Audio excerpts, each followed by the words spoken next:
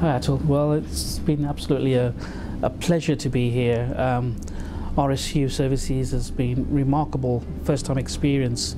Um, I must say I'm, I'm extremely impressed um, by the training, the workshop that we've had today. Um, Joe certainly is um, quite a remarkable entrepreneur, I think, in myself, from what I've seen, um, and bringing the expertise on the table. Um, myself uh, and my partner Atul, uh, we've come here and been sort of exploded by such a level of uh, experience and wealth of knowledge that Joe has. Um, I'm thrilled and delighted to come on board onto this uh, uh, entrepreneurial experience um, and certainly would really like to sort of um, see this whole project really bloom so well.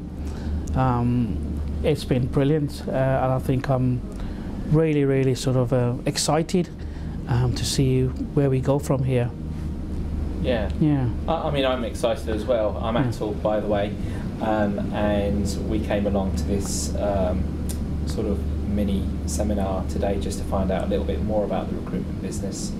And Joe um, has been talking to us about how easy it is to set up a recruitment business. Um, so myself and Yogi were quite excited to, to start this as a, as a chapter in the next phase and uh, looking forward to work with RSU um, and you know certainly with Joe he's got such a lot of industry experience Absolutely. um, and, and I think he provides a good guiding hand uh, to people who are sort of relatively new to recruitment um, although not new to uh, the sectors that we both uh, work in so yeah looking forward to working with the team here and uh, making things happen Absolutely, yeah, yeah. And I think I think the key the key element here really is why we've chosen RSU services here is really to sort of bring out the best not just in ourselves but to really bring the the company to a level of the entrepreneurial side where